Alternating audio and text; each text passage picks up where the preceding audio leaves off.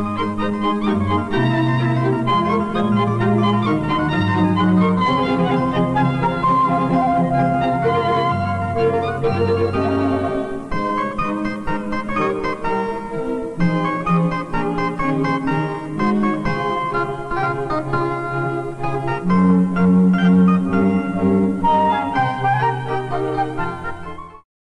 Creating a working history of Nickelodeon has been a huge project, one I've been very happy to take on, but due to my limited resources, there are naturally going to be holes in that history, and because I'm kind of a dope in general, I do make the occasional mistakes.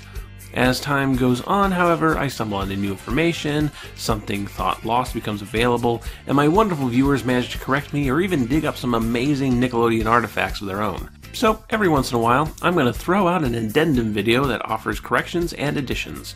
And today we're going to be focusing on the shows of Nickelodeon 1979. First off, you know that Nickelodeon promo footage I use with the mime reading some kind of Nickelodeon magazine? I always had doubts that, that was just a prop, more likely an actual promotional item printed up by Warner Cable. I threw it out there that I was searching for it on Twitter, but never actually expected to discover a copy. And I didn't. But Ethan did, and so much more. So, ladies and gentlemen, I give you the press kit from the very first year the network went on the air back in 1979. Yes, the press kit for Nickelodeon's first year. This is an amazing bundle with promotional material, articles, pictures, a custom envelope because 1979 was the International Year of the Child, and super valuable for my work, a list of staff profiles and Nickelodeon's very first broadcast schedule. This is an amazing bundle, and Ethan was kind enough to scan a lot of its contents for me. And as I poured through the details, I made a few very interesting discoveries. For example, hey, there's a lost Nickelodeon 79 show. Inside of what turned out to be another version of that promotional magazine in the mime short, there's a brief section about a show called Pocket Money. Pocket Money, a show that will cover everything from lollipop factories to youth and politics. And that's it. That's the only reference to a show called Pocket Money in the entire bundle. No reference to it in my research material. I found no mention of it in all the Nickelodeon nostalgia communities on the internet. So, what was it? Very, very hard to say. Maybe it was a show Warner Cable got under development but decided to drop before premiere. Maybe it never even got that far. It was just a name Warner threw into the mix to make it seem like they had more programming than they did. My personal theory is that Pocket Money was a working title for By the Way, the other vague and elusive show from Nickelodeon 79. By the Way is name dropped in a lot of the other material in the press kit, but not in this specific magazine. Speaking of By the Way, thanks to the schedule included in the press kit, we can learn that By the Way was an hour long program. Well, that's says something.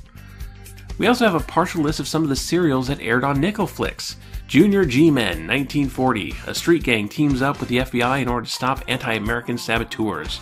The Whispering Shadow, 1933. Bela Lugosi stars in this crime drama about a mysterious killer who murders people by radio control. The Mysterious Squadron, 1933. A rogue band of pilots make attacks on the construction of a dam. The Galloping Ghost, 1931. A college football player is thrown off his team when he becomes connected to a local gambling ring. Determined to clear his name, he goes in to bust them up. With those on the roster, it shows us that Nickel Flicks was not just looking for marquee value. I've put some of the most interesting press kit material in a gallery linked in the description below, along with a link to Ethan's original video. Ethan's a fun guy, go check out his channel. Speaking of things brought to my attention by viewers, longtime commenter Christopher pointed me to this footage of the closed circuit television system at the Otani Hotel, the system that inspired Steve Ross in the creation of QUBE. You can see they didn't actually change that much in the design when bringing it over to the States. Thanks, Christopher. Link to that video is also in the description.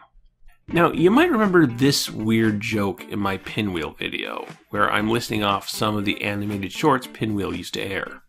Emily, a French production about a little girl and her pet hedgehog. Chapi Chapo, 1974, French stop motion production about two clay blob siblings who will give you nightmares, but not nearly as many nightmares as the Clock Clockman.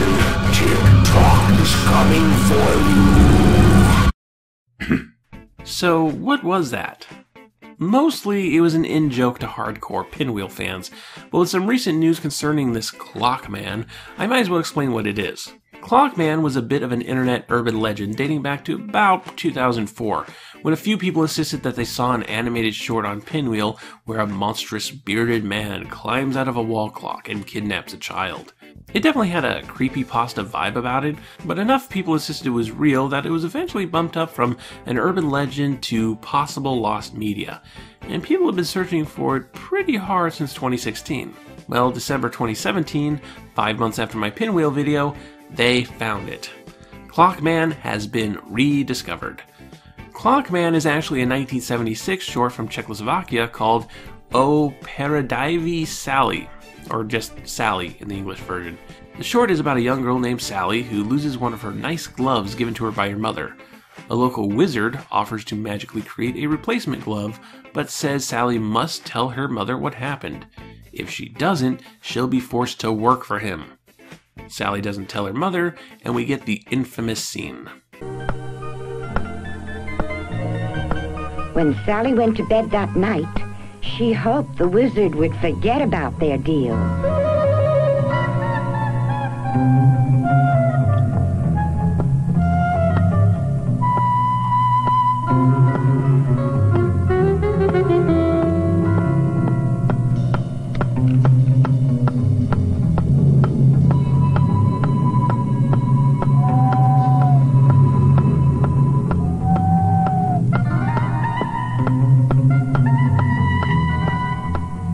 Fell asleep. But the wizard did not forget.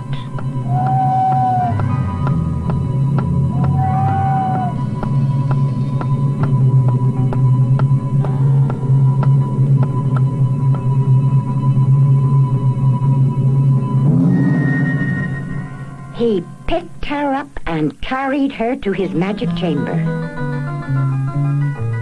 The short's tone is a lot more whimsical than the urban legend would lead you to believe, but then again, this is a story about a man climbing out of a clock and kidnapping a little girl. There's a lesson about responsibility and all that, but also, you know, little girl kidnapping. You can see why this scared some kids. There is still debate as to if it actually aired on Pinwheel. While people are pretty sure it aired on Nickelodeon at some point in the early 80s, it may have aired on Hocus Focus, it may have aired on Special Delivery, it could have aired in a whole bunch of different contexts. Unless we get footage of its actual American airing, we may never know, but it'll likely be associated with Pinwheel for the rest of its existence. There's a link to the English version of Sally, as well as the Lost Media wiki page on Clockman, in the description below. Speaking of Hocus Focus and identifying shorts, the ever helpful Christopher pointed out that one of the animated shorts seen in Hocus Focus's opening is 1963's The Great Toy Robbery, directed by Jeff Hale. Santa Claus gets held up by a bunch of bandits out in the Old West. Not much to it, really, but it's a fun little cowboy comedy that shows off Hale's style and talents. Jeff Hale would end up being known for his animation work on Sesame Street, especially his pinball, typewriter, and ringmaster shorts. One minor correction. In my video on By the Way, I referenced the PBS show Shining Time Station, somehow unaware that it actually did air on Nickelodeon in 2000, meaning it's going to get a proper episode of Nick Knacks somewhere down the line. My point in bringing it up in that video still stands, but I may have written it a little differently if I had double checked. Finally, in my video on Brad Williams and Hocus Focus, I brought up these pictures I had found of Brad Williams dressed up and sitting in an H.G. Wells style time machine. I said I wasn't sure what this project was, but I was soon informed that in 1988, Brad Williams contributed to a book called The Complete Time Traveler A Tourist's Guide to the Fourth Dimension. Well, Brad Williams is one of my top 10 favorite things ever, so I had to grab a copy, and man, this book is a lot of fun. It's framed as a guidebook sent from the future. It's even copyrighted 2038, which I didn't even know you could do that.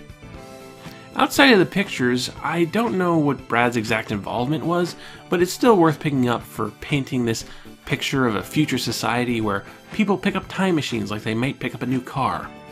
Not a lot to say about it, really, just breezy, light fun. Dang it, Brad, you're the gift that keeps on giving. I miss you. Nick, Nick, Nick, Nick, Nick, Nick, Nick. Nickelodeon. Nick, Nick, Nick, Nick, Nick, Nick, Nick. Nickelodeon.